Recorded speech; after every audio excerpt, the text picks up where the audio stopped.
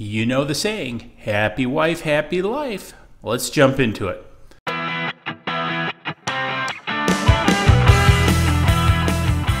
Welcome to this episode of Design Talk with DIY3DTech.com. In this episode, I want to share this uh, rather basic but interesting design that I use to solve a problem and make my wife happy. Anytime the wife is happy is a good time for me. So one of the things we've been doing over 2019 is having a house built uh, as well as a shop for me. So that's the exciting part. Watch for some upcoming videos on that. Uh, however, one of the things when the builders installed the um, electrical for the front porch, if you will, they recessed it into the vinyl siding for a coach lamp. Now, one of the things my wife fell in love with these exterior lights that have a stem on it. I'll do a bit of an overlay here.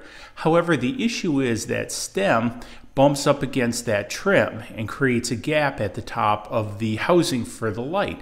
Now, it is on a covered porch. There is a possibility of, of moisture getting in there. There is a sealed box behind it. So it's not a good thing, but it definitely here in Michigan, and especially since we're out in farm country a little bit, we're going to get bees and hornets and everything else making a nest in there, and it's next to the front door.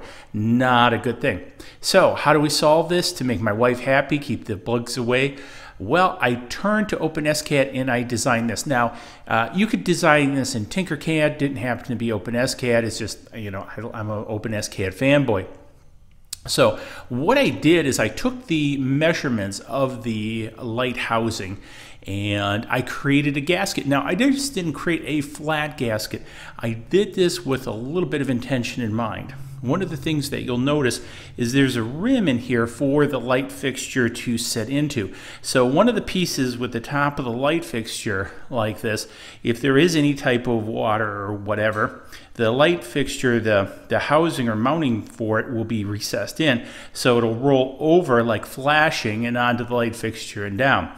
The other piece is this inside seal is meant to be a bit tighter and uh, create an inside seal too. So basically belt and suspenders when it comes to seals. And uh, again, just flat back to go against the back of the housing that you see.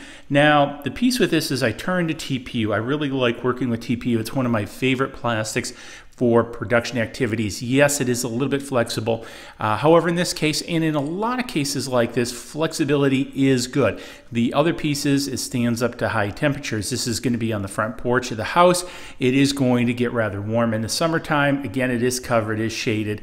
Uh, PLA would not stand up to this. ABS might, ASA or nylon probably would. Um, but TPU definitely will. So that's why I turned to it. The other piece is it really holds up, or has for me anyway, under uh, UV light.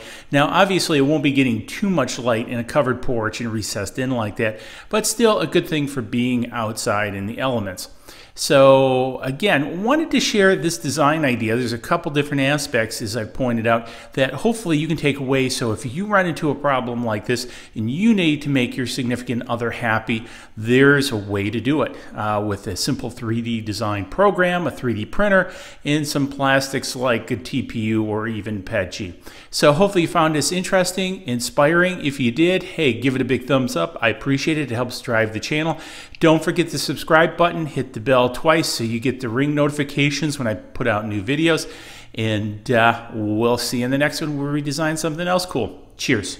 Please click like below and subscribe to the channel to keep up